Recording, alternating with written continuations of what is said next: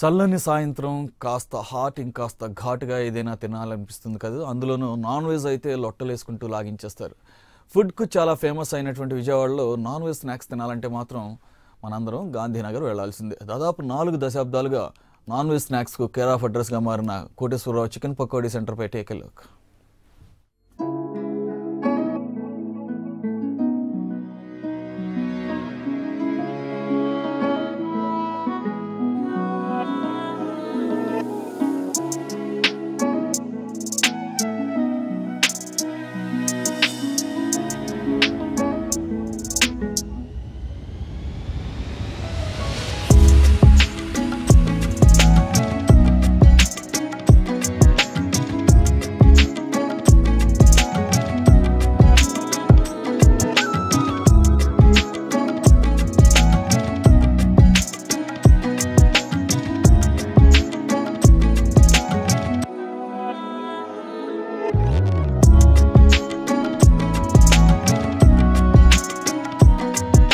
Road పక్కన చిన్న బండే అయినా సూపర్ షెఫ్స్కు ధీటుగా టేస్ట్ను మెయింటైన్ చేస్తుంటారు.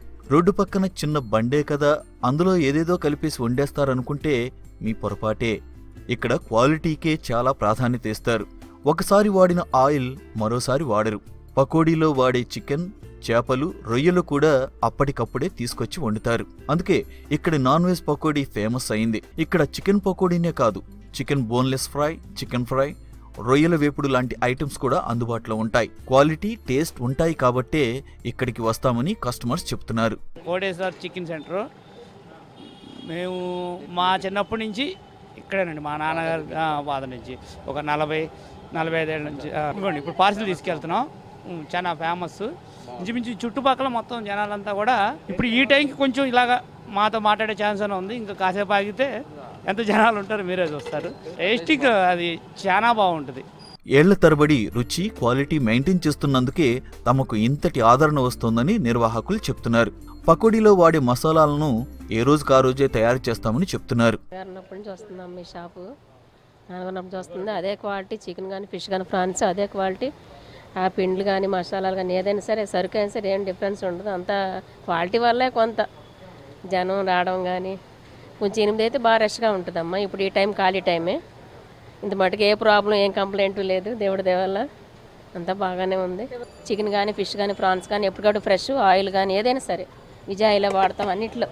ఏ ప్రాబ్లం ఉండదు. ఇంత మట్టికి రాలేదు కూడా కంప్లైంట్ కూడా ఏమీ. ఏసీ రెస్టారెంట్స్కు ధీటుగా రోజు వేలల్లో బిజినెస్